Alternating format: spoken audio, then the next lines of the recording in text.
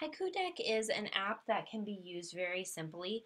I've seen teachers use this in so many different ways that it would be impossible to show or talk about all of them in a really brief demo.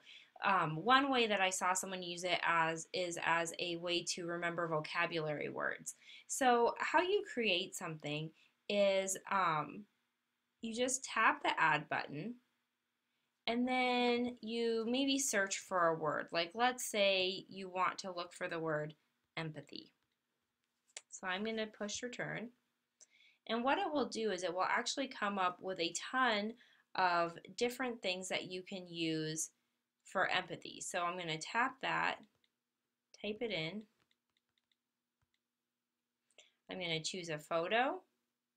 And you can see it's looking for photos that have to do with empathy.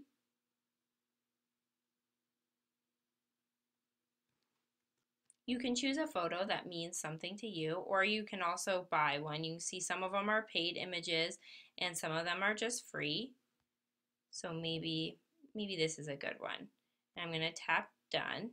And then you can also maybe even put a, a, you can put a definition for the word that you're putting if you want. So basically it's just a way to make a lot of slides that have a picture background and then a very simple textual word on them. Again, you can really use this in a variety of different ways. You can add in charts, you can kind of change the colors, change the layouts, and um, you can even add notes. So there's a variety of different things you can do, but it's essentially a slide creating tool.